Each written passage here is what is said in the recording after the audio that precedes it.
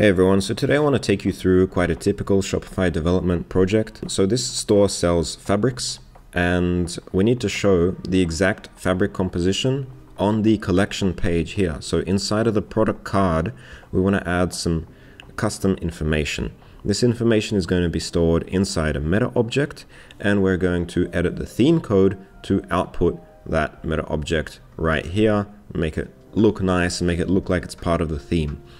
I say that this is a typical project because it's quite common that depending on the product you sell, there is some special, really important information that you want to show on the collection page so that a person doesn't need to click into the product to actually see that information.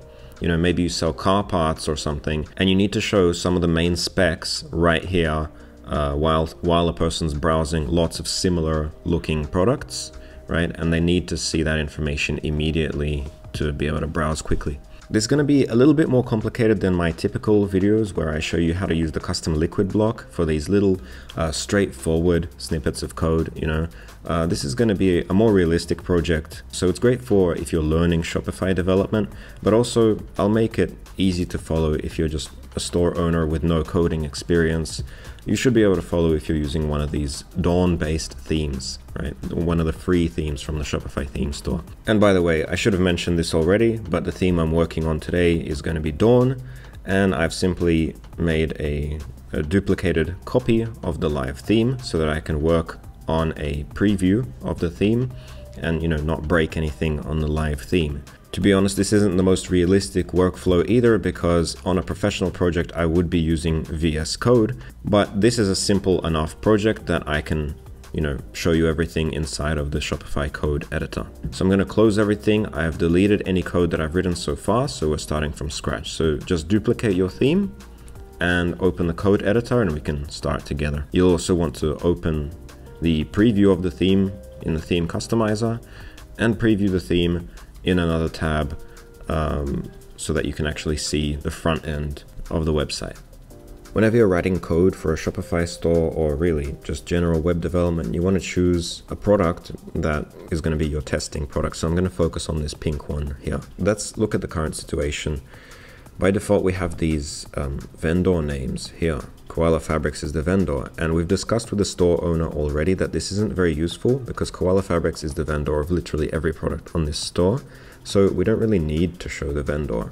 Um, instead, this would be a good place to put that fabric composition line. So then my task is simple. What I want to do is find in the code where this line is and I'm going to put my code directly after it and I'm simply going to disable the display of the vendor using the theme settings.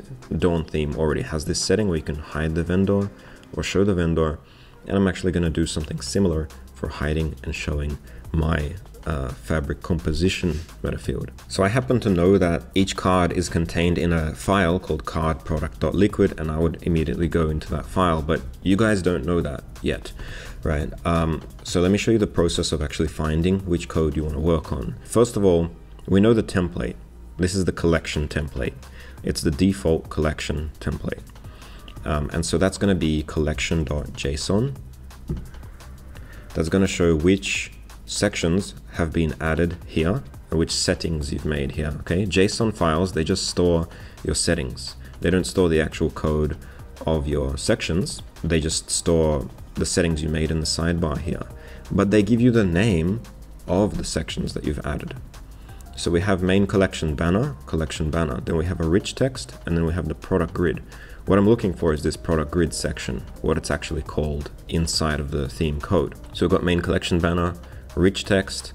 Uh, this is all, this entire block is just the settings for the rich text. You can see that because when I click here, the ending bracket is highlighted. And then next we've got the product grid, right? And type, this is the actual name of the liquid file that we're looking for. Main collection product grid liquid. That's what outputs this, this product grid, right? So next I'm gonna put that into the search and open up that file. And we're just gonna kind of look through this I'm not, I'm not to read everything. I don't really care about everything. What I'm looking for is the loop, right? Because here we have like filters, right? I have the filters that, that are at the top of the page, this stuff, the heading and everything, you know, and uh, I don't care about that. What I'm looking for is product grid container, product grid container um, for product in collection products. So this is where the loop starts. For, for each product in collection products, output this stuff. And here we have render card product. Whenever you see render in Shopify code, that means it's rendering a snippet, something from the snippets folder. Okay, snippets in Shopify can be rendered. They're usually used to create these repeating blocks. And this is just, this is how we pass information into that card product snippet. So let's open up the card product snippet. And finally, the code that we're actually looking for will be inside of this card snippet. This card is just is just a single card, one product card like this, and it's being output repeatedly. You get what I'm saying, right? So here, I'm just going to Command F and search for vendor, because as I said before, we can just look for this vendor line, because I want to put my code directly underneath it. Let's look for vendor, and here we have div class information, uh, card information, card information container, and if show vendor, right? Remember this, this setting, show vendor. So if show vendor, then it's going to display the vendor. Great. So basically I can just put my code on the next line right underneath it. And guys, here I start like this all the time. I simply output some basic text just to know that I'm editing the right place, editing the right code, right? I'm just gonna output test and I should see that on the store. And that's why I'm not, you know, working on the live theme or anything. I wanna see that right there. Yes, right? For every product, test, test, test, test. So that tells me I found the right place in the code to put the code that I actually want. So now we can begin. So what, what do I want to do here? I want to output a meta field. So I guess we should create that meta field. Here I've got that product open, that one that is going to be my guinea pig product, the one I'm working on.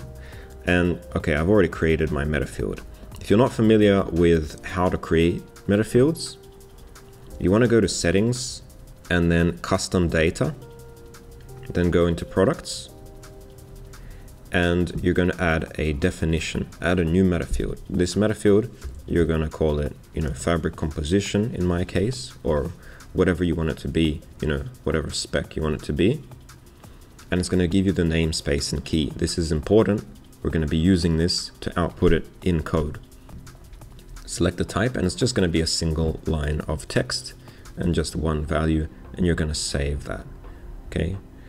Remember the namespace and key. After you've done that, when you go back to your product and scroll to the bottom, you will see that meta field here and you'll be able to fill it out as I've done here. That's all. We're done with the meta field. So now we want to output that meta field. We're going to open up some curl double curly braces and to access meta fields we go product dot meta fields. I've shown this in many videos and then that namespace and key dot custom dot fabric underscore composition in my case. We're going to save that and let's see what we actually output on the front end. So instead of test, we should have the fabric composition, except we don't. Why don't we? Well, let's have a look. How is this product outputting, for example, the title or the URL? Normally, to access, you know, the product title, we do something like product.title, right? But I don't see that in this in this file, I see something a little bit different. I see card underscore product dot title. I see card underscore product dot URL. And what's happened here is simply they've renamed product to be card product. You don't really need to understand this part, um, but basically when they're rendering a snippet in Dawn theme, um, they're taking the product and assigning it to card product. That's all. We don't have to understand really why they did that. What that means for us is that instead of using product.metafields or product.title, we now need to use card product, card underscore product dot, and then it's everything is the same as before. Card product.url, card product.title, card product.price, right? You can access all of those product properties except this time using card underscore product whenever you're inside of this file. So now when I save, let's see what we actually get. That should be showing up now. And yes, it is. It's showing up in our standard body text. Mm, doesn't look very good, doesn't really blend in. I want it to look exactly like this vendor, don't I? Let's try to inspect this vendor and see what's going on here with the CSS, what's making it look that way. So I'm going inside of card information and then here is the vendor. As you can see, caption with letter spacing light. These are the classes that are on it. And these classes look like they're doing some styling. So we can check here what's going on here. So dot light, the class of light here is giving it an opacity of 70% and the caption with letter spacing class just does those things, right? Changes the letter spacing, makes it a bit smaller. So we actually want we want to use those same exact classes. Why not? They're already built into the theme. Why would we write our own CSS when we can just use those existing classes? So we're going to do exactly the same thing. Actually, they're right here. It's a div with the class caption with letter spacing and then light. I'm just going to copy that and paste it and div. And so now our fabric composition line should look a lot better. When we refresh, there we go. There's just one small bit of styling that we still need to do, and that's because I noticed that when you turn off show vendor, that the spacing is too small. There's no margin between like the product title and our uh, fabric composition line here, whereas there is for the vendor. So what's happening here? Upon inspecting this a little bit further, we can see that there's actually more CSS being applied to this than just what's being added with the classes. We can see that everything in the card information div, everything inside of this div is getting a line height and color, and everything following the first child is getting a margin top of 0.5 rem. So what, what that means is that basically when these are gone, and this is our first child, let me just delete them quickly, then we're not getting that margin top 0.5 rem. So I'm just going to hard code that margin in um, so that we always have a margin top on this element, okay? So exactly as they have it, margin top 0.5 rem. Sorry, there's a point there. And this is just an inline style. I'm not going to bother creating a separate CSS file just for such a small change. So when we save that, and we hide the vendor, there should now be enough spacing. So at this stage, are we finished? Is this all there is to this project? Well, no, not exactly. The first thing I would do typically is also add an if statement around this to make sure that it doesn't show up on other products where we have not filled the meta field. However, in Dawn theme here, I've noticed that when there's an empty div, it's automatically hidden. You see that div empty, display none. So I actually don't need to worry about that. But just in case if you want to be safe, you can write it like this. If card.metafields, that's we're accessing that metafield exactly the same as we're using it to output it here, except it's in logic tags. If this metafield uh, does not equal blank, meaning it's filled out, then we're going to output this, okay, end if. But if it's blank, it won't show anything. Okay, so you could do that. I'm personally not going to do that. But the next thing that I wanted to do is show you also how to add a setting, right? So I want to have this toggle like show vendor, also show fabric or hide fabric. Or even better, we can take that a step further and have a, a text field here which says if you want to show a meta field, enter the namespace and key of the meta field that you want to show, right? And then this will be a multifunctional feature, right? You can show any meta field here. So it gives more power to the store owner. So let's do that. First of all, remember that we're in the product grid section. So I'm going to be adding those settings to the product grid section. So here I am in that section file, main collection product grid, that file where I showed you earlier where the uh, card was being rendered, right? But the settings for that section are below inside the schema and I'm gonna search for show underscore vendor because that's the setting, that's the ID of the setting, and we're gonna put our setting directly below. And it's gonna be exactly the same for now. For now, I'll show you how to do a checkbox. So it's gonna be show fabric, default is false. And here, we don't have a translation for it. I'm just going to write uh, show fabric. So there we go. There's our setting, show fabric. And it won't do anything because we haven't actually, you know, we've created this checkbox here in the sidebar, but we haven't connected it to anything. The next thing that we need to do is we need to pass it into that render card product. We can do it exactly the same as show vendor. This is a big hint. You know, whenever you're writing code, you can just look at the way that the theme has been doing things so far. You don't need to reinvent the wheel. You can just copy and paste. so show fabric is going to be a new variable inside of this snippet and it's going to contain the value of section.settings.show fabric. Okay, so it's taking the value from this section dot settings dot show fabric. You know what we just wrote. And now that we've passed this to that card product snippet, we can use it inside our code.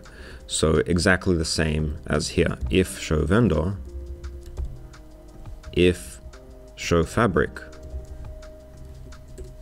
okay, and if. And let's indent that so we can see that's inside. So now let's refresh the customizer and see if our setting works. And there we go, we already can't see our fabric here because by default it's false, it's unchecked. And now when we check it, we can see the fabric. That's good for showing and hiding something, but as I said, I want to take it to the next level. I want to make it so that the store owner can show any kind of meta field that they want. So we're going to rebuild this a little bit. And guys, this is what that looks like. So we have the namespace and key here. And if we had, for example, a, a different meta field like fabric color, then we could display that if we wanted to instead. I decided not to show you how I built this because this tutorial got way too long. It's honestly, it got a bit too complicated and I've already shown you most of the concepts that I wanted to show you in this tutorial, which is creating uh, section settings, passing those settings through a uh, render into a snippet and then using them inside of a snippet. But don't worry, you'll find all of the finished code on my website this is the code for the final feature with, you know, being able to select any meta field that you want. Just go to ed.codes and go to tutorials or you'll find the link in the description of this video actually. And last thing I want to say is that Koala Fabrics is actually one of my supporters on Patreon, so thank you for your support. Um, and this is actually what I do for my patrons. I help them with videos that they've requested and I can show that on their store if they're okay with it, right? So if you're interested in being one of these stores that I would demonstrate on in a video, then check out my Patreon. You'll also find the link for that in the description. Lastly, please leave a like if you find this video useful, and I'll see you next time. Bye.